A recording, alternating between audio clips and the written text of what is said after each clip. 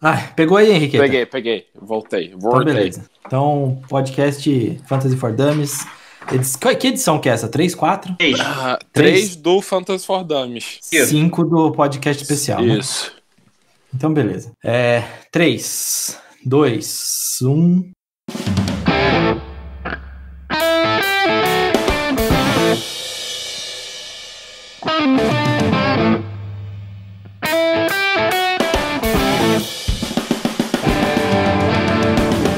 Fala seus acadêmicos, continua tudo quarentenado com vocês, tá começando mais uma edição especial do Zonecast, aquele podcast que tem especialistas de verdade, e não precisa mentir o currículo, então, chega mais play, cuidado com a mensagem subliminar Henriqueta, e ligue a TV, pra ver o Madureira Rafik. Bom dia, boa tarde, boa noite. Para você que está chegando agora, meu nome é Felipe Clemente está começando mais uma edição especial desse já consagrado podcast Tailgate Zone, o Zonecast. Ao meu lado, fala, Rafik. Oba, oba, meu povo! Estamos aqui para mais um podcast especial, Fantasy for Dummies. Hoje a gente vai explicar um pouquinho as diferentes plataformas. Aliás, a gente não, porque quem vai falar mais vai ser o Henrique. Por isso que eu vou falar mais agora, porque depois eu vou ficar calado. Mas aproveitando esse início, não esqueça de nos seguir nas redes sociais, Facebook, Instagram e Twitter. É, Em todos eles é Tailgate Zone, mas no Twitter é um pouquinho diferente, Tailgate Zone Underline BR. Lembrando que esse podcast está disponível nas principais plataformas e você pode nos ver e ouvir no YouTube. Aliás, Chafinho, estamos devendo live pro pessoal, hein? Tem mais três semanas que a gente não faz. É verdade, estamos devendo mesmo. A gente precisa preparar uma live interessante aí. Fala, Henriqueta, boa tarde. Como vai o Canadá? Muito frio? Tá quente? Fala galera, tudo bom? Olha, hoje eu não sei, eu tô aqui dentro de casa, no conforto do meu lar, o dia inteiro. Mas ontem tava quente. Vamos aqui de Fantasy for Dummies de novo.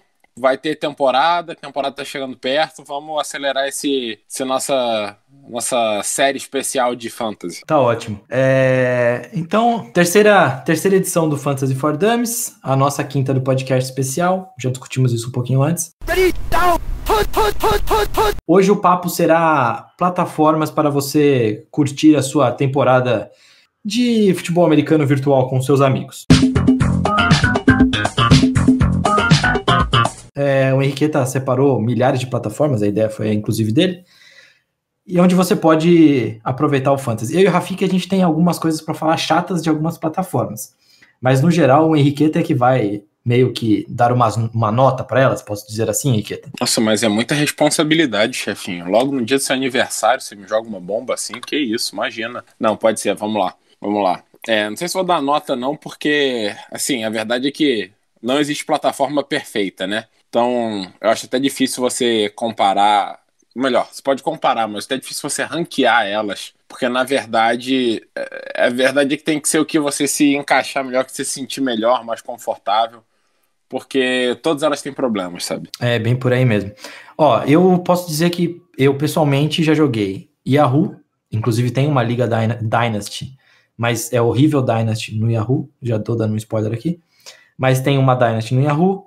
É, a maioria das ligas que eu jogo hoje estão no Fantrax, que é uma plataforma muito boa. O único problema é que muitas funções dela são, acabam sendo pagas, né? Então você tem que pagar ele, mas é muito bom. Caramba, tô dando muito spoiler. A plataforma da NFL também já joguei, é bem legal. É, Flea Flicker, não gosto, mas também já joguei. E o Sleeper, que ainda tem alguns, algumas coisinhas lá. Já joguei na CBS também, mas na CBS eu não joguei futebol americano, joguei beisebol. E eu me lembro dessas agora, Henriqueta. que mais você teria? Você lembra de mais alguma também, ou Rafik? É, eu, eu joguei uma ano passado na Sleeper também, mas não, não recomendo. Spoiler. É, mas eu joguei mais be- beisebol, eu tenho uma vasta experiência, mas a, a forma como o beisebol funciona em muitas plataformas é bem diferente de como fun- funciona o futebol, o futebol americano.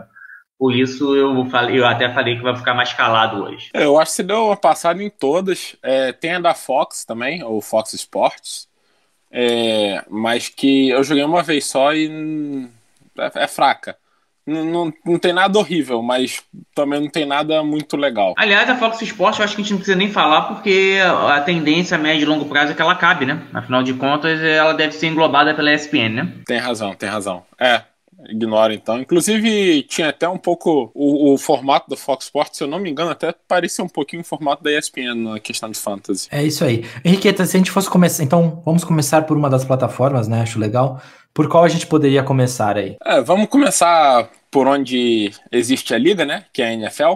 Então vamos falar do NFL Fantasy primeiro, e aí depois a gente pode passar pelas principais é, pelos principais meios de comunicação, digamos, CBS, ESPN, Yahoo, né? Esses que já são sites estabelecidos que têm o seu fantasy, né, tem sua plataforma de fantasy à parte. E aí depois a gente fala das que foram desenvolvidas só para fantasy, Fantrax, Sleeper, Flea Flicker. É, se eu esqueci alguma, a gente vai falar lá na hora. Então, começando pela NFL, o, o fantasy da NFL, ele é bem legal até, ele é, é um, um visual bem... Eu gosto, assim ele não tem muitas. É, ela não tem muitos features extras, né? Já que a gente tá falando de fantasy, vamos usar as palavras americanas.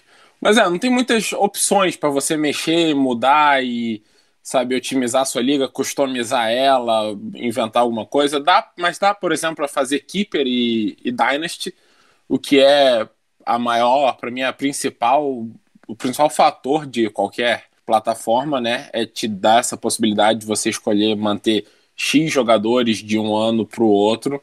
E, e assim, a NFL tem a vantagem de que tá ali, é o site da NFL é onde saem as notícias primeiro. Tem algumas exceções, tem uma, algumas das plataformas que a gente vai falar por último, que são as, as que foram os sites desenvolvidos só para fantasy, eles são bem rápidos, bem rápidos em notícia. Mas na, comparado com as principais, que são CBS, ESPN, Yahoo, é, a NFL ela, ela é bem rápida, ela é bem ágil nessa questão.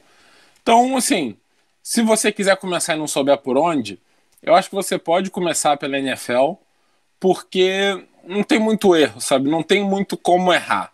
É, é o padrão, é o básico. É, para mim é da onde você baseia todo o resto dos, dos fantasy de futebol americano. É, realmente, a, a plataforma da NFL ela é muito simples assim, né, Henrique? Ela é muito tranquila para você para você que está começando agora, primeiro que assim, você pode jogar, você não precisa, se você quer aprender, você não precisa reunir sua galera, você pode entrar numa liga qualquer lá com um monte de americano maluco ou com pessoas do mundo inteiro que você não sabe quem são e fazer seu, seu draft jogando seu primeiro ano, entender um pouquinho mais como funciona é, ver pontuação, etc. É uma plataforma bem interessante mesmo para início. Eu só não sei, Henriqueta, se ela tem possibilidade de você fazer Dynasty. Tem, tem sim. É, tem. O, isso tudo depende do, de quem criar a liga, né? Ele pode escolher quantos keepers você pode manter de um ano para o outro. E como a gente já falou, a diferença de keeper para Dynasty é que na Dynasty você mantém todos os jogadores, na keeper você mantém um número pré-definido. Então, Basta o comissário definir que você mantém todos os jogadores, digamos que seu time inteiro tenha 20, é só dizer que você mantém 20 keepers que está mantido. E aí você faria um draft com os novatos só. Por acaso, as ligas que eu jogo na NFL são de keeper, não são Dynasty. Então, eu não sei como funciona o draft dos calouros, mas eu imagino, vendo as outras plataformas, que qualquer jogador que seja agente livre esteja no draft dos calouros. Então, assim, quando você está numa Dynasty lá, na verdade você vai ter disponível no draft do ano seguinte, já que você manteve todos os seus jogadores, né? Você vai ter disponível os calouros, mais aquele resto todo ali que ninguém quis. E acaba sempre tendo um ou outro que acaba sendo draftado, mas no geral o foco, obviamente, é calouros, porque, né? A promessa é o que você está investindo. Mas é possível. Existe o Dynasty lá. E como a gente já falou também no último podcast, você pode sempre também fazer o draft dos calouros offline, ou seja, num grupo de WhatsApp, de Facebook, onde você quiser. E aí depois o comissário só vai lá e coloca cada jogador no seu time, né? E resolve. Você não precisa fazer o draft online. Mas dá para jogar Dynasty, que é o, o principal fator para mim de qualquer plataforma. É para que ela seja mais versátil, né? E que sirva para todo mundo. É, mas não vamos colocar as carroças na frente das Rapidash, né? O Rafik já falou, né? A gente já falando de Fantasy for Dummies. Eu duvido que você vai começar por uma Liga Dynasty logo de cara. Então, assim, pensando num, em Dummies e em Fantasy, a, a plataforma da NFL para você fazer o redraft é excelente, certo, Henriqueta? Boa, boa, certo, certíssimo. É, e tem razão. E a gente já falou também no último podcast, né? Ou no outro. É, não comece por Dynasty, não faça isso, não vale a pena, não vale a pena. É, é, não é que você não tenha capacidade, é que você não tem experiência, a manha. Eu, depois de anos jogando, fui fazer minha primeira Dynasty e fiz tudo errado. Depois de, sei lá, 10 anos jogando Fantasy, sabe? Eu continuei fazendo tudo errado do mesmo jeito na primeira Dynasty que eu joguei. Então não começa por Dynasty, vai, vai ser coisa demais. É, é muita coisa. Começa pela redraft normal. Se você errar, sabendo que vem, tem mais, tudo diferente. Então é isso. A, a NFL é bem legal, ela é bem customizável. É, e isso que o Felipe falou, né? Se você não tem nem com quem começar, começa com os gringos mesmo. Eu comecei também, joguei alguns anos só com um bando de estrangeiro. E, sabe, você conversa com eles se quiser pelo chat do, do, da plataforma. Se não quiser, também não conversa, deixa eles para lá. Enfim, mas é divertido, é legal que você vai aprendendo, você vai vendo como funciona. Você vai vendo até, por exemplo, a, que é, todos os sites têm projeções né, das semanas. Você vai vendo até o que você pode confiar e o que não pode quanto às projeções. Enfim, começa, só começa, sem medo. E aí depois você vai pegando o jeito. Exato. Hoje já não é um privilégio você ter um amiguinho que gosta de, de NFL também, que assiste futebol americano, mas lá em 2000 Guaraná com rolha era um privilégio. Então, vai pela, pela NFL. Só um adendo muito rápido, é, antes de a gente passar para a próxima. Já que a gente está falando do, da, da, plataforma de fantasy da NFL.com, eu queria fazer um rápido adendo pro beisebol. Tudo que foi falado da NFL.com não vale para MajorLeague.com, tá? O fantasy da Major League é muito ruim e eu recomendo com força que ninguém use. Importante, essa ali embaixo. Joguei um ano para nunca mais. Glória a Deus, nunca joguei nenhum ano nela. Então, beleza. Indo para o próximo. Depois desse ódio todo, dessa propaganda toda para o site da NFL, Henriqueta, que outra plataforma, é, não vou dizer assim mais robusta, mas que outra plataforma seria melhor para jogar? É, eu diria que é dos males o menor, é ruim com ele, pior sem ele, é a ESPN. Para mim, das principais, a ESPN é a mais. é a melhor delas. É, é porque ainda tem vários problemas é, como eu falei que as notícias saem sempre rápido da NFL, às vezes na ESPN as notícias levam horas ou dias, sabe? Você sabe que o cara foi trocado e na ESPN ele não foi trocado ainda. É, alguém se lesionou e na ESPN ele continua ativo. Então, olha, o cara voltou de lesão e a ESPN esqueceu de tirar o símbolozinho de lesão lá. Então, quando você olha rápido seu time antes da semana, você acha que o cara ainda tá lesionado. É, ela tem, então, ela, ela é bem lenta nessas, nessas movimentações, assim, sabe? Nessas mudanças. Porém, você pode mexer em bastante coisa na liga. Ela é fácil de entender, ela é simples, é bem intuitiva. Você não vai olhar para a plataforma e perguntar que bicho é esse, que existe em alguns casos também. É, então, assim, eu ainda recomendo a ESPN. Sem contar que é a ESPN, então se você está procurando notícia de esportes, é um local tradicional, fácil para você ir, né? É, não é um site extra que você abre só pro fantasy. Muito embora, às vezes também, se falar a verdade, eu até gosto de ter um site extra só pro fantasy, porque me lembra de fazer aquilo. Mas, enfim, ESPN tem essas vantagens todas. Então acho que eu recomendaria a NFL é boa. Se você não quiser jogar na NFL, eu recomendaria a ESPN. É, um, um detalhe que eu já tenho de cara para falar sobre a ESPN é aplicativo para celular. O aplicativo é horrível, independente se você tem iPhone ou Android. É, é horrível. E se eu não me engano também, da última vez que eu vi, ele também não tem aplicativo. Tudo bem que usuários disso são poucos, né? Pensando no lado TI, que eu não consigo tirar isso de mim. É, são poucos usuários que você tem hoje de Windows Phone, mas ele não tem aplicativo para Windows Phone. Então, tudo bem, você que tem Windows Phone não consegue baixar o aplicativo da ESPN. E no Android é muito feio e é muito ruim, não é, não é nada é, assim é user-friendly. É o amigo do usuário, amigo é. do usuário. Não, não é intuitivo, né? Nem um pouco. Simples, nem, é, não. Nem no Android, nem no, no iOS. E ainda tem um detalhe, no iOS, pro, pro iPhone, você ainda precisa fazer umas gambiarra para conseguir baixar ele precisa ter conta numa loja americana para conseguir baixar. É um, um inferno. Então, assim, para mim, eu que gosto de resolver todas as minhas tretas de, de fantasy no celular, eu descarto totalmente a ESPN por causa disso. Não, foi muito bom você lembrar disso, porque eu tinha esquecido dos aplicativos de celular, que atualmente são uma parte muito importante de qualquer fantasy, porque é muito mais fácil você mexer no celular em qualquer hora do dia, sabe? É, eu já mexi em fantasy nos locais mais, sabe? Tô andando sei lá, para comprar pão e aproveito e mexo no meu time de fantasy. Eu tô, sei lá, indo beber água no trabalho e aproveito e mexo no meu time de fantasy. É, é rápido, né? Em um, dois minutos, às vezes, você faz alguma coisa que você quer. E o da ESPN realmente é muito ruim.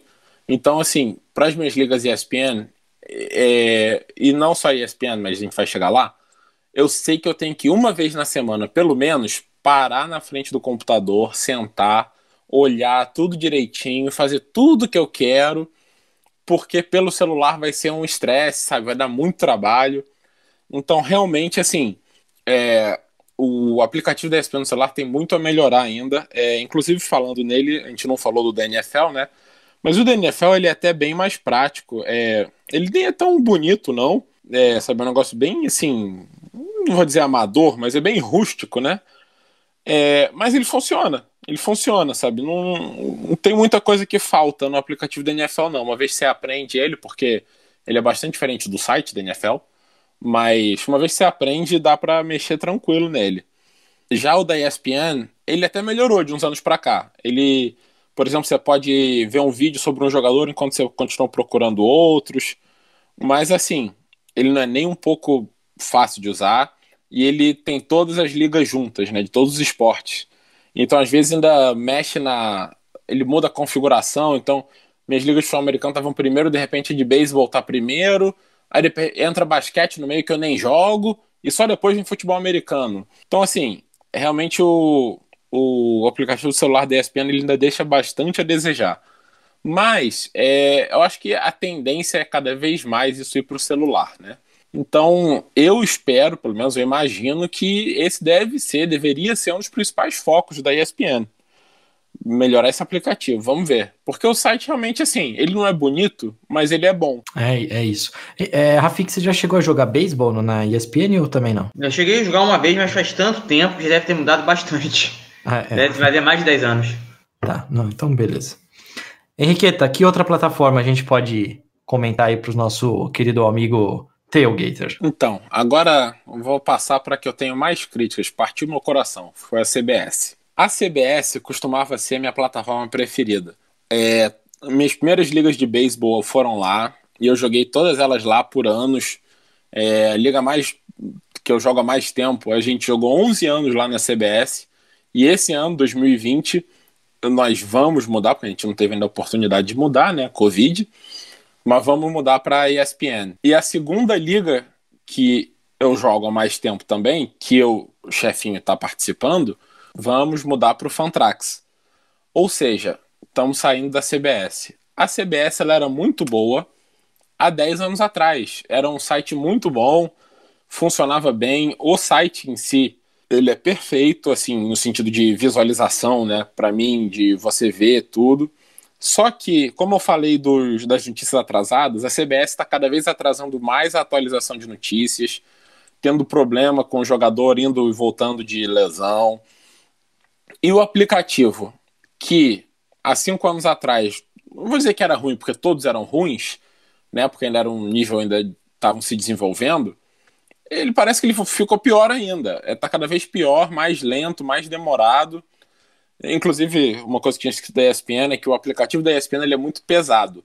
Se você tiver com internet ruim, ele dá erro na hora, para e não adianta. Mesmo que a sua internet volta, você precise é, fechar o aplicativo, e abrir ele de novo. Então, assim, é um problema da ESPN que eu tinha esquecido aqui. O aplicativo é extremamente pesado. Mas de volta à CBS, o aplicativo é ruim. É ruim. Não tem nem o que dizer. Ele é. Ele não anda direito. Ele, sabe, não. Não sei. Então, a CBS era para mim o melhor site, até de notícias mesmo. Eu via minhas notícias na CBS em relação a esportes, né? É, e jogava as ligas futebol americano, beisebol, tudo na CBS. E a minha única crítica anterior era que você não pode customizar em nada a liga. É o padrão da CBS e só se você pagar, se você usar as ligas pagas, é que você pode customizar. mas valia a pena. Valia a pena esse sacrifício. Agora, deleta, esquece. Foi piorando demais, então, sabe, o que era um porém virou só mais um motivo para você não ir para lá. É a pena, mas é, é um a menos. Só queria falar porque ainda é bem grande, mas parou no tempo. Não sei se não é lucrativo para eles, não interessa e sabe, esqueceram fantasy de lado. Já que você falou disso, eu vou ter que falar. Eu ainda acho a CBS boa para notícias. Só que a partir do momento que você assina The Athletic, você para de ler as outras coisas, né? Então tem isso também. Pode ser Sem que eu fiquei menos nenhuma. crítico. É, pode ser que eu fiquei menos é. crítico por causa disso. Não, mas em relação a notícias de esporte, ainda é muito boa, sim. Eu ainda vejo. É, embora, como você falou, o The Athletic é uma plataforma. O The Athletic, para quem não sabe, é um site de notícias pago americano, mas eles contrataram todos os melhores jornalistas de todos os times. É, tem cobertura individual de cada time das ligas, vários times universitários, tanto de futebol americano como de basquete, Premier League agora, estão expandindo cada vez mais, é, é espetacular. Mas de volta ao fantasy, que é o tema principal do episódio, né? Inclusive, só fazer a boa pro claro. nosso pro tailgate, né, Henriqueta, já que a gente acabou falando do The Athletic. É, eu vou soltar um cupom de desconto para quem for seguidor do, do boa, tailgate e do, do The Athletic. Então, fique ligado aí e que teremos um cupom de desconto para você que curte muito esporte. O Athletic é uma ótimo, ótima fonte. Boa. Pode seguir. Legal, desculpa. legal. É, não, eu ia falar que a, a questão notícias da CBS ainda é muito boa. O que eu reclamei de notícias dela é notícias vinculadas ao fantasy. É, o jogador, qualquer movimentação de jogador, lesion... normalmente a principal movimentação que você faz no dia a dia é ver quem se lesionou e quem voltou de lesão, né? E se um jogador que é dúvida no sábado é anunciado como vai jogar domingo de manhã, mas o site está dizendo que ele não vai ainda, ele não atualizou, é muito fácil você olhar e falar: ah, tá tudo certo, sabe? O jogador lesionado continua lesionado, vamos pro jogo. Ou vice-versa. Se o jogador tem uma lesão de última hora e o site não avisa, você dá aquela última olhada lá, vê, ah, todo mundo limpo, vamos pro jogo. E aí se descobre que o cara não jogou e você zerou um jogador e pode perder a semana por isso, porque na NFL, mais ainda do que no beisebol, cada semana é decidida nos detalhes, às vezes, né? é, é um jogo para cada jogador só. Então, se o jogador não jogou, você zerou a semana naquela posição e pronto. E são menos semanas, então uma derrota vale muito mais. Então, assim, por tudo isso, eu acho que para fantasy a CBS morreu. Em relação a matérias, ainda não, ela é muito boa. É muito boa, tem matérias muito boas, vale a pena. É, se você quiser entrar lá para ver matéria, só não vale para jogar fantasy mesmo. E outra plataforma, Henriqueta, fora a CBS que realmente já morreu? Bom, vamos pro Yahoo agora, que acho que é a última das, das dos grandes sites, né? Dos grandes sites de esporte. É, o Yahoo, para ser sincero, eu não jogo já faz uns 5 anos. É, eu jogava nela, eu jogava uns 15 anos atrás e era muito boa, sabe? Eu adorava. 15 é exagero, uns 13. Eu acho que a 15 eu descobri que fantasy existia. Mas assim, eu adorava, era, porra, achava fantástica a plataforma. Nossa, era. Junto com a CBS, acho que era a minha preferida. Soube até antes da CBS. E eu migrei para a CBS há uns 11 anos atrás. Mas. Acho que parou no tempo, né? Esses 15 anos atrás, não sei. É, joguei de novo, né? Uns 5 anos, como eu falei, e, e é, ficou ruim. Não, não, não, atualizou, não evoluiu. Tem uns mecanismos que não, não funcionam direito, trava. É, não sei. E também, assim, agora o Yahoo tá morrendo também, né? Então a tendência é que o fantasy dele, acho que até cabe sumindo, virando totalmente irrelevante daqui a pouco. É, não sei se o Rafik tem alguma coisa a falar aí do Yahoo mais. Eu não tenho nem muito a dizer. Uma pena, porque o Yahoo era o. Sei lá, quando eu comecei a jogar fantasy, há, sei lá, 10 anos atrás, o Yahoo era o padrão ouro, né? É, era o melhor site de fantasy, assim, disparado. E realmente parou no tempo. É, tá ruim, não, não vai. Não vai lugar. Mas tem uma coisa ainda do Yahoo que ninguém chegou perto. E olha que estão tentando que nem loucos, mas tem uma coisa que ninguém chegou perto do Yahoo até hoje. É o melhor lugar para se fazer draft. A ferramenta de draft do Yahoo ainda é incomparável, não tem igual. Tanto é que tem muitas ligas que eu conheço que fazem o draft no Yahoo e depois importa um resultado do draft para uma outra liga de um outro site para fazer o dia a dia do fantasy. Olha lá, essa aí eu não sabia não. Eu não Pois eu, é. né, eu realmente não lembro como é o draft do Yahoo. Não, é realmente, o, o Rafik falou dois pontos que, que eu gosto bastante. É, o primeiro que o Yahoo já foi padrão ouro mesmo, tanto quando a gente começou essa liga que eu tenho agora. É uma liga mais recente, né? É que eu não jogava no Yahoo tinha muito tempo. Aí a gente acabou reunir lá 14 pessoas, a gente foi fazer uma liga e na discussão acabou sendo votado Yahoo, mas eu não jogava no Yahoo já há muito tempo. Me decepcionou um pouco, porque como a Henriqueta falou, ficou parada no tempo, mas a fama que o Yahoo tinha para fantasy era muito boa mesmo. O draft era muito bom lá, hoje em dia já também já não tá tão bom, é, mas realmente é uma pena. O bom do Yahoo, é, isso acho que vou receber críticas, mas que eu vejo como usuário, eu gosto muito do aplicativo do Yahoo.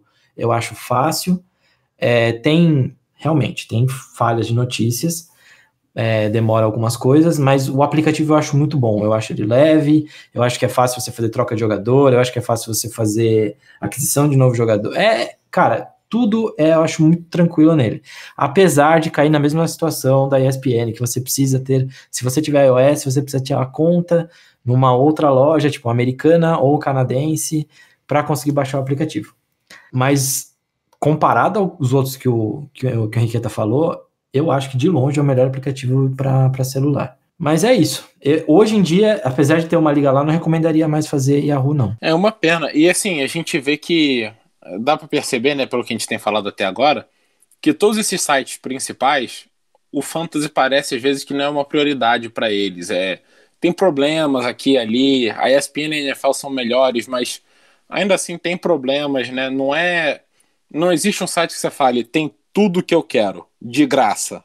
Então, por isso até surgiram muitos sites com o objetivo único e exclusivo de ser um site de fantasy, de criar uma plataforma de fantasy que todos possam usar.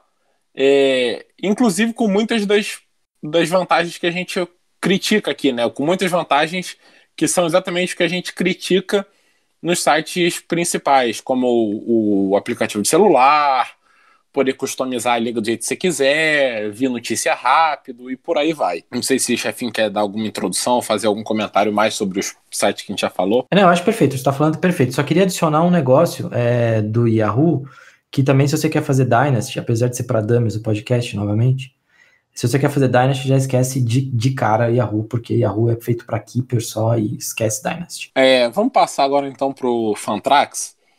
O Fantrax é uma das plataformas é, novas, né, como eu chamaria. Eu não sei quando o Fantrax foi criado exatamente, mas assim, ele já foi criado quando o Fantasy já era uma febre, já era uma onda no mundo, né? E você sabia que precisava de melhores sites para jogar Fantasy. O Fantrax, é, o problema que eu tenho falar dele é que até hoje eu só joguei a versão paga do Fantrax. Esse ano a gente vai começar a versão gratuita na liga de beisebol, como eu falei. É, na verdade, eu joguei uma liga gratuita no passado de college, é, futebol americano universitário. Mas assim, é, ele perde muita coisa. O, o que na verdade acaba sendo um problema em todos, né? Se você paga, você ganha mais, óbvio. Mas, por exemplo, se você paga para ter a liga da CBS, ela não fica boa. Ela fica menos pior, mas não fica boa. O Fantrax, para mim, pago, ele é perfeito. Ele tem tudo que eu poderia pedir. Talvez a única crítica que eu tenho ao Fantrax, mesmo que pago, é que o aplicativo de celular dele, para você trocar de uma liga para outra, dá trabalho. Mas é, é, bem detalhe, né? É um detalhe bem pequeno. No geral, tanto o site como o aplicativo são bem bons. Inclusive, o aplicativo é um negócio esquisito, porque no iOS, pelo menos, né, no iPhone, o aplicativo na verdade é um site. Então você vai no site do Fantrax e coloca na opção criar extensão para o celular. Ele simplesmente finge que cria um aplicativo, mas ainda assim é o site. É só esquisito, porque você não está acostumado a isso, né? Normalmente está acostumado a ir na Apple Store e ir lá e baixar. Porém, funciona muito bem, funciona tão bem quanto o site.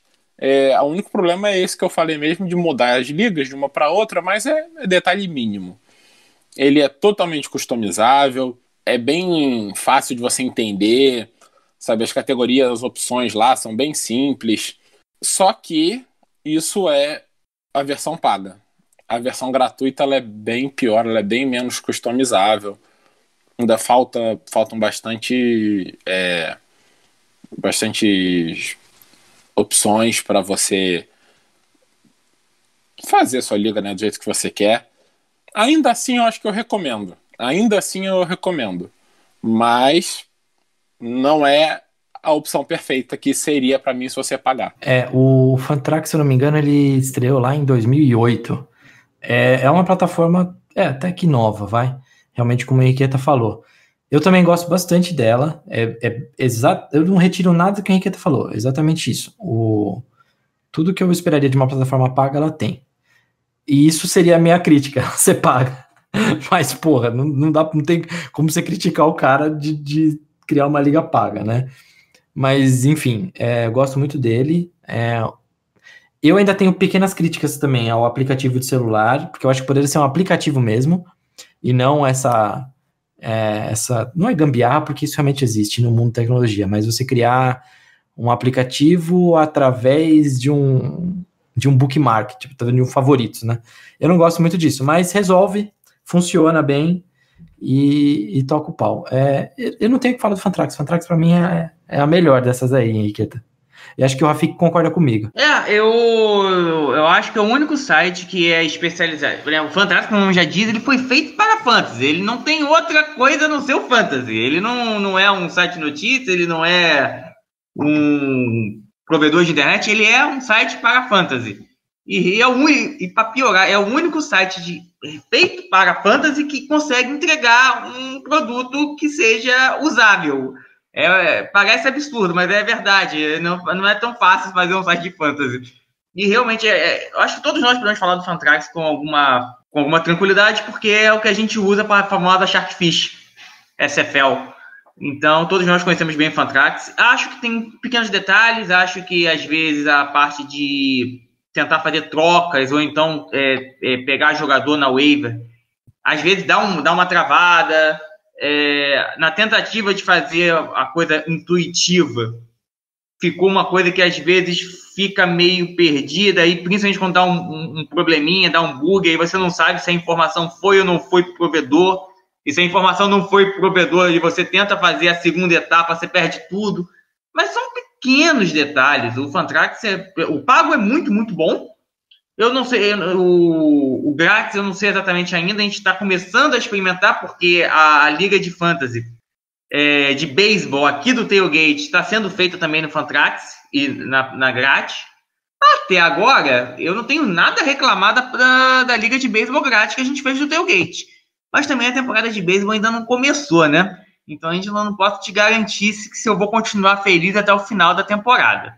Mas realmente o Fantrax, nobres fora, hoje, se eu fosse recomendar um site, seria o Fantrax. Mas, um porém, gente fazer o draft offline, porque a ferramenta de draft do Fantrax nós, inclusive, usamos para a Liga do Tailgate e deu muita confusão. Não é uma ferramenta boa, não. Muito bem lembrado, muito bem lembrado. É, o draft do Fantrax, eles esqueceram que draft existe. é, isso, faz fora, faz em algum lugar, faz na mão até, porque na mão é divertido, parece muito trabalho, é muito trabalho só pro comissário, então garante que você não é o comissário e aí sugere o draft na mão, porque é o mais divertido deles. é, o draft é bem ruizinho mesmo. Além do mais que aquele barulho que ele faz quando é sua vez me deu uns 3, 4 sustos, além de me ensurdecer. Então, realmente, o draft é bem ruinzinho. Mas saindo, então, do que a gente gosta bastante, é... qual que você iria agora, Henrique? Uma que a gente odeia ou uma que é mais ou menos? Vamos para que a gente odeia e depois a gente termina no meio termo? Nossa, que lindo, adoro isso. Flea Flicker. Para começar, estragaram o nome, porque Flea Flicker é uma das melhores jogadas do futebol americano que é quando o quarterback dá a bola pro running back, ele finge que vai correr ali direto pelo meio, vira para trás, joga de volta pro quarterback e aí ele solta a bomba. É uma coisa é, é divertidíssimo, é, é, toda vez que você vê o running back virando para trás para jogar a bola, você levanta da cadeira já, porque é divertido. E aí o site estragou o nome, é absurdo. Mas enfim, o Flea Flicker é a mesma ideia, né? É um site só de fantasy Inclusive, acho que é só de fantasy de futebol americano, acho que eles não expandiram. Obviamente, o nome do site vem de uma jogada de futebol americano.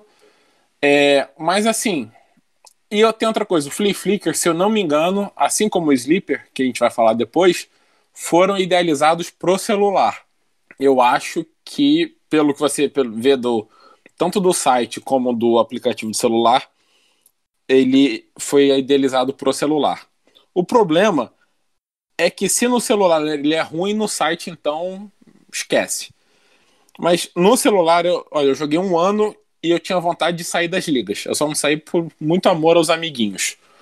Porque é horrível, é horrível. Tudo que você ouviu a gente falar até agora dos outros sites, de notícia errada, de bug no, no aplicativo, de dar erro, aumentem muito, aumentem muito. Você ouviu do aplicativo ser feio? Aumentem muito, é horroroso.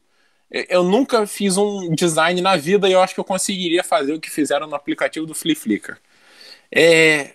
Nossa, eu não sei o que falar, porque não tem o que falar. Só não usa. Não usa que você vai poupar muito estresse da sua vida. Pronto. O pior de tudo é que é difícil discordar do Henrique. Eu joguei uma liga no Clear Flickr também, é, ano passado, que inclusive foi uma liga que a gente fez é, esse esqueminha que, que, eu falei mais cedo. O draft foi feito no Yahoo e depois o resultado foi importado para o Clear Flickr. E realmente, assim, mesmo que a gente queira ter boa vontade com o site, eu não consigo aqui para você elencar um mísero ponto positivo. Dizer, não, esse aqui é um destaque positivo do Flare Flickr. Não tem. Assim, fujam para as montanhas. Se alguém diz para você que vai fazer uma liga no Flare Flickr, fuja. É a única coisa que eu posso dizer. É, é, é tudo é ruim.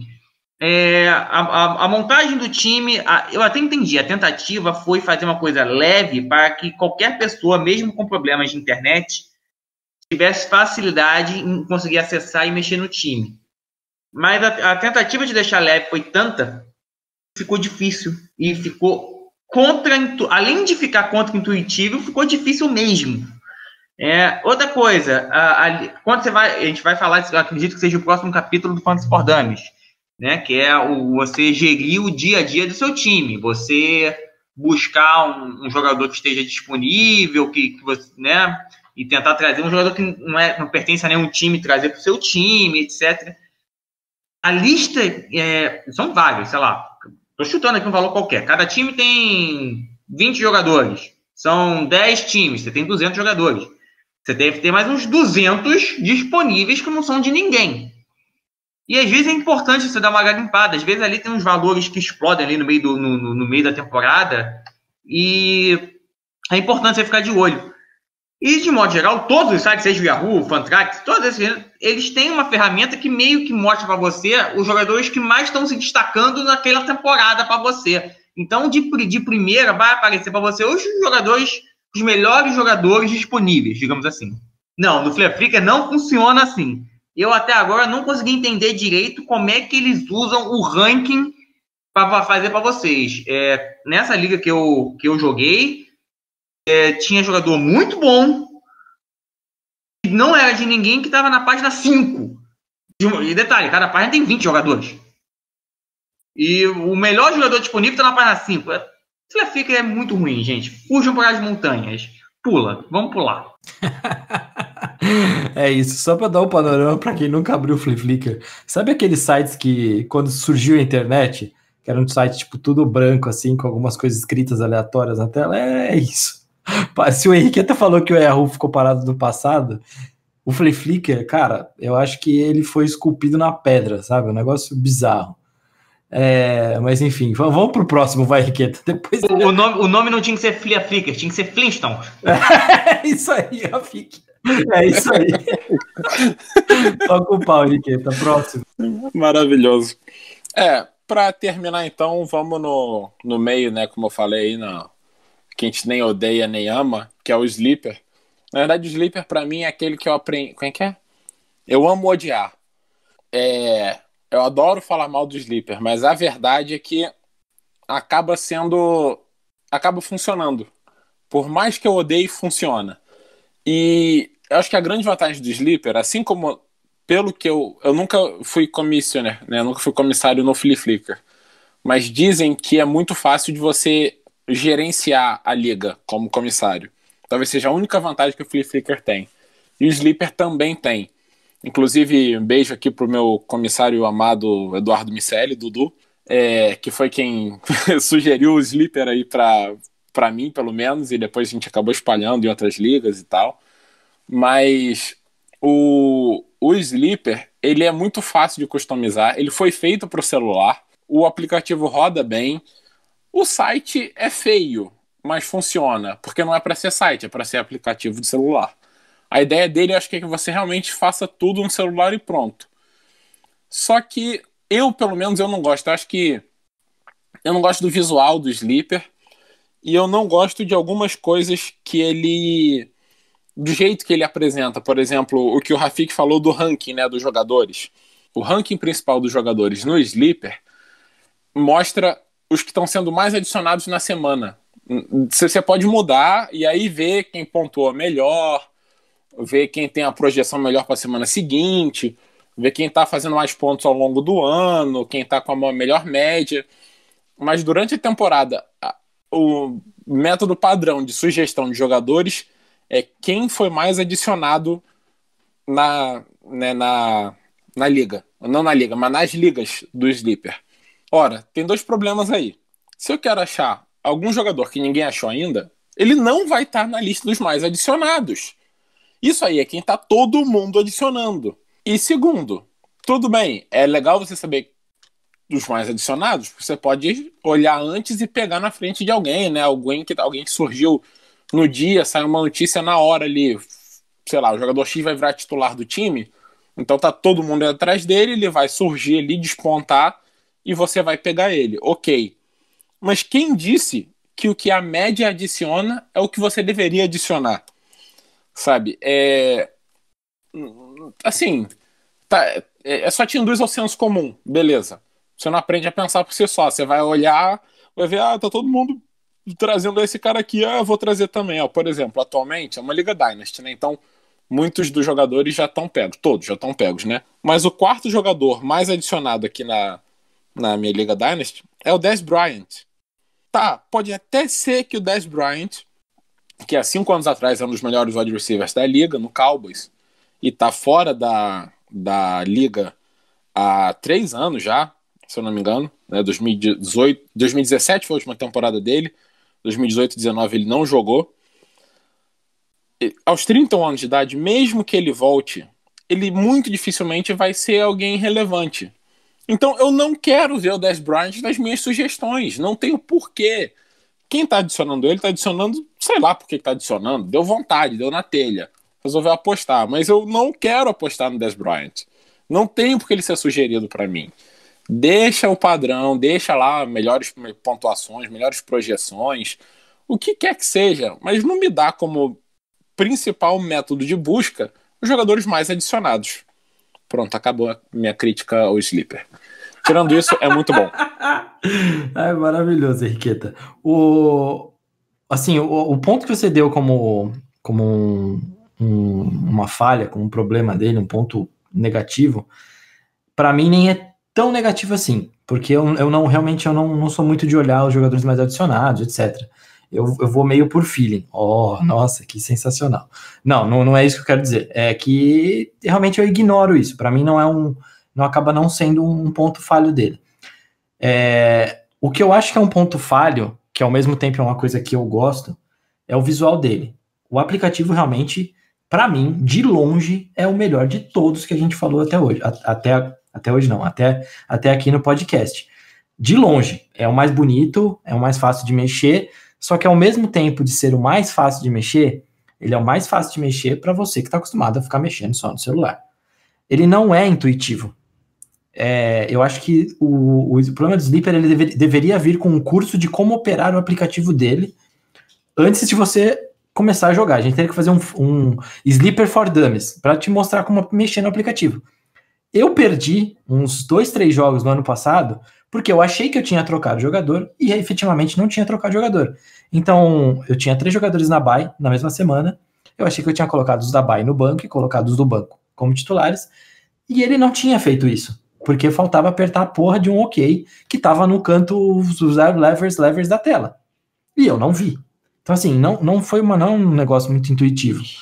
Mas ao mesmo tempo é o aplicativo mais bonito. E se fosse resolvido algumas dessas coisinhas, se você tivesse um treinamento para usar o aplicativo dele, eu acho que o Sleeper não teria nenhum problema. Para mim é isso. A Fix, você já jogou na Sleeper? Beleza, não põe mesa, chefinho. Eu, já, eu tô falando pra você, inclusive, isso pra tailgate, cara. O mais importante é o site ser funcional, não importa ser bonito. É, eu já joguei na Sleeper e realmente é bonitinho, mas é o bonitinho mais ordinário. É, tudo bem, não chega a ser um Flare Flicker, né? Com certeza ele é muito melhor que o Flare Flicker, mas ele está longe de ser um Fantrax. É, eu, não, eu não sei em relação à parte de comissário, como, como o, o, o Henrique falou mais cedo. Até porque é, há mais de oito anos que eu não era comissário. Eu passei agora a ser comissário da Liga do Tailgate no beisebol, no, no Fantrax, e devo admitir, realmente as, a, o painel de comissário do, do Fantrax é bem complexo. Eu tive que parar e. Eu até entendi, depois que você entende, vai. Mas realmente o, o, o painel do comissário no Fantrax talvez seja um outro ponto fraco do Fantrax que a gente não comentou. É, mas em relação ao Sleeper, é... o Sleeper é legalzinho, é legalzinho, mas tudo que o Sleeper tem, o Fantrax tem melhor. É a minha ligeira opinião. É, não, nem acho que o que o Henrique apontou para mim é um problema, até porque eu, é, esse negócio de, dos mais adicionados é uma coisa que eu uso muito. É claro que eu não necessariamente eu, eu, pego mais adicionado, mas é um, mas é algo que, que eu dou uma olhada porque às vezes um jogador que não me despertou atenção e eu vejo que ele está sendo muito adicionado, eu vou procurar o porquê que ele está sendo muito adicionado. E numa dessas eu achei ano passado, ano retrasado, o Jerônimo Alisson, né? É, então, Jerônimo Alisson naquela temporada que ele explodiu no Packers, né? Antes da lesão. Então, nem acho isso um problema. É você, é você ser um, um bom manager e saber mudar. É, o mais importante é você conseguir mudar a, a lista, é, o parâmetro que vai apresentar a sua lista de forma fácil. E isso tanto o Fantrax como o Sleeper tem. O problema é que no Flicker, além de não ser fácil, as opções que tem são inúteis. É, por isso, fujam para as montanhas em relação ao Flicker. Pode até facilitar o trabalho do comissário, mas vai atrapalhar o trabalho de todos os outros jogadores. Mas enquanto a Sleeper é, é boa, mas o Fantrax é melhor. Essa definição é a Muito melhor. Bom. É a melhor. É. Ah, eu lembrei aqui de outro é, picuinha minha com o Sleeper. Você vai lá no seu time, vai mudar um jogador pelo outro, né? Aí tem lista bonitinha dos seus titulares, quarterback, running back, wide receiver, tight end, flex. É coloridinho por posição, que eu acho muito legal até. Facilita de ver, né? E os reservas estão na mesma ordem, só que com o banco, então não tá por posição. Quarterback, running back, wide receiver, tight end. Legal. Você foi lá e fez uma mudança. Eu peguei aqui o Josh Allen, que é meu quarterback titular, troquei pelo Sam Darnold, que é meu quarterback reserva. Assim que eu fizer essa mudança, a lista do banco zoneou inteira. O wide receiver, depois tight end, depois quarterback, volta para wide receiver, vai para o running back, vem para wide receiver. Zoneou meu banco inteiro. Eu sei que é toque, mas se eu quero fazer cinco mudanças, depois que eu fizer a primeira, eu tenho que caçar no resto do banco quem eu tô procurando, porque sumiu. Tudo bem que é um detalhe, mas custava deixar um algoritmo, um programa, para manter a lista do banco arrumadinha? Precisava fazer essa zona com o meu banco? E pior, a zona que não faz nem o menor sentido. Não, não descobri até hoje qual é o padrão dessa zona do banco. É só para bagunçar a cabeça do pobre dono do time que tá querendo mudar os bonequinhos de lugar. Eu não lembro agora em relação ao Sleeper, mas no Fantrax é só você atualizar o, o roster que o banco volta ao normal, digamos assim. Não, não, é que é o banco do Titans com o, o Mike Weber lá fazendo vestindo roupa de roupas engraçadinhas, então ele fica tudo bagunçado mesmo. Meu Deus do céu. É, não, então, o Sleeper ele não tem a opção de você atualizar o roster ali, tipo, você não pode puxar, arrastar para baixo, segurar que, a, que atualiza e tal. Então, até hoje, o único jeito que eu descobri é você fechar o aplicativo e abrir de novo. Pode ser que eu esteja perdendo alguma coisa muito óbvia. Mas, até hoje, eu só descobri fechando o aplicativo e abrindo de novo. Bom, galera, a gente falou bastante das plataformas aí. Eu só queria saber se vocês têm alguma coisa a acrescentar. Tem alguma coisa, Rafik? Eu tenho. É, eu acho que para a gente fechar esse podcast, a gente tem que falar o seguinte. De modo geral, quem está nos ouvindo deve ter vários amigos e quer fazer uma liga com os amigos. Mas você pode ser aquela pessoa meio Rafik, autista, que é difícil de ter amizade, e quer entrar no, em ligas públicas, em que é mais fácil você conseguir outras pessoas para fazer uma liga, porque você não tem conhecimento suficiente de pessoas para fazer, fazer uma liga. No caso do, do Fantasy Football, nós estamos tendo meio que uma revolução atualmente, porque essas ligas públicas você não consegue mexer nas regras. É a regra padrão daquele site. E cada site está tendo uma regra de pontuação diferente, especialmente em relação a pontos por recepção. Antigamente, todo mundo usava a pontuação estándar, aquela que não dava nenhum ponto pela recepção. Mas isso tem, tem mudado rapidamente.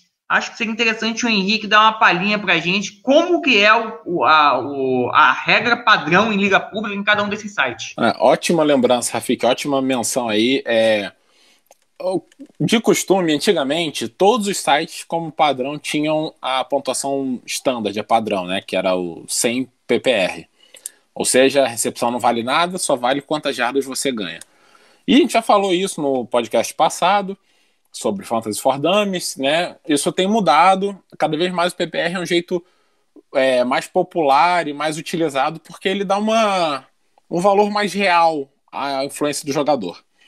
Bom, recentemente, todas as ligas principais têm mudado sua, sua pontuação padrão na direção do PPR. Então, atualmente, a gente tem a NFL e o Yahoo com o half PPR, quer dizer, o meio PPR, 0.5, ou seja, PPR, vamos lembrar, é points per reception, né? Então, meio PPR é meio ponto por recepção. Ou seja, se você faz seis recepções no jogo, você ganha meio ponto para cada uma, você ganha três pontos extra. Enquanto na ESPN e na CBS, esse ano elas mudaram para o full PPR, ou seja, um ponto por recepção. Cada recepção vale um ponto, seis recepções, seis pontos extra. É, tanto o meio ponto como o ponto inteiro são, são bons. Eu, eu, tenho até dificuldade de dizer qual é qual eu acho mais justo, uma representação mais justa da realidade, qual equilibra mais a liga. Mas com certeza os dois são melhores do que zero pontos. Você valorizar a recepção é, seja por meio ponto ou com um ponto, compensa mais. Em relação ao Fantrax é, e ao Flick, não, é, não existe esse padrão de liga pública. Né? As ligas públicas que existem nesses sites, na verdade, são ligas que algum usuário cria, eu mesmo vou lá e crio a liga e coloco ela para ser aberta a qualquer um. Então, não há uma liga feita, digamos assim, pelo site reunindo todo mundo. Então, a regra de cada uma dessas ligas entre aspas, públicas, tanto no Fantrax como no Clearflick, é a regra que o cara que foi lá e criou a liga resolveu botar. Não existe um padrão do site, né? Não há que se falar em liga pública nesses dois sites. No Sleeper tem, mas eu vou ser sincero que eu não sei qual, qual é a regra. É, então, na verdade, eu, eu falei para vocês em off que na Flip na, na, na Sleeper tinha liga pública, mas na verdade, eles não têm liga pública. Eles chamam de liga pública, mas não é uma liga pública. É o mesmo princípio das outras. É alguém que criou e que está precisando lá de dois, três jogadores. É, e aí eles colocam, eles criaram um negócio bem interessante, que é um canal de comunicação entre jogadores de fantasy. E aí você quer entrar numa liga, mas não quer montar a liga, você quer usar o Sleeper, você entra no canal de comunicação da Sleeper. O... Então, assim, é, o tipo canal de... é um, na verdade, é um canal de comunicação que a gente pode chamar de Tinder para jogador de, de fantasy. Então, tem os caras que estão procurando mais alguém para participar das suas ligas e tem quem está procurando uma liga já pronta. Então, realmente, esse negócio de liga pública são dessas quatro grandes e que o Henriqueta já explicou mais ou menos a, a pontuação. Fora isso, vocês têm mais alguma coisa a acrescentar, meninos? Não, não. Só acho que é só pra gente concluir. Se, acho que a gente chegou à conclusão de que, no final das contas, se você for fazer, faz o draft no Yahoo e depois traz tudo pro Pantrex, né? É a melhor coisa a se fazer. Maravilhoso. Muito bom. É, só para falar de draft aqui, eu ia dizer que uma coisa que eu gosto muito do Sleeper é o, a telinha do draft, que ele faz daquele jeito padrão de, de fantasy, né? Que se fazia ao vivo também com as, as posições, cada uma com uma cor, e aí aquele board inteiro, né, como se fosse um grande quadro branco, e você vai colando lá as cores de cada um. É bonitinho o, o jeito que fica o draft do Sleeper. É o bonitinho mais ordinário, como o Rafik disse, e resumiu bem. Bom, meus queridos, é, foi muito bom conversar com vocês, foi muito bom estar com vocês. E final de mais uma edição especial e um Fantasy for Dummies. Um abraço a todos. Quem sabe amanhã a gente não se vê numa live, caso tenha, né? É, vamos tentar agitar isso aí. Valeu, gente. Grande abraço. E a NFL tá chegando, né? Faltam dois meses se o coronavírus deixar. Exato, é isso. Galera, muito obrigado e até. Até não sei quando, porque é especial. Abraço. É isso aí, seus acadêmicos. Acabou, acabou, acabou, acabou mais uma edição especial do Zonecast terceiro capítulo do Fantasy for Dummies, e falamos tudo o que sabemos sobre as plataformas mais famosas desse jogo, que é muito melhor que Cartola. Esperamos que tenha sido muito útil para vocês e que comecem a jogar o quanto antes. Enfim, deixem as opiniões de vocês nos comentários desse podcast, nas plataformas de podcast ou até mesmo no site. Também abriremos uma sessão de perguntas, claro, se vocês mandarem algumas. Risos, risos, risos. Bom, é isso, então, como é sempre bom lembrar. Além de continuar nos acompanhando nas redes sociais, no site e ouvindo o podcast, bebam muita água, lavem bem as mãos, informem-se através de cientistas ou médicos e nada de cair no conto do vigário em. Enfim, semana que vem tem mais, e, já que seguimos sem abraços e beijos, então, como novo costume, toquem-os de luz no cotovelo de vocês.